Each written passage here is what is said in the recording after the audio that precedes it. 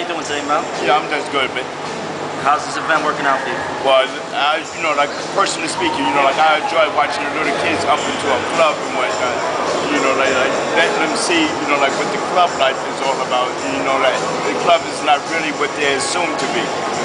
Is there something here that you may have caught your eye that you know really may bring um, more peace to you because you know the kids are together the thing that brought a little peace to you know, calmness to my, you know, to my heart, you know, like is, you know, I'm sitting, I'm sitting up in here and I'm watching people of all nationality, you know, you know, get, you know, just get along, you know, like and basically speaking, that's where hip hop, you know, basically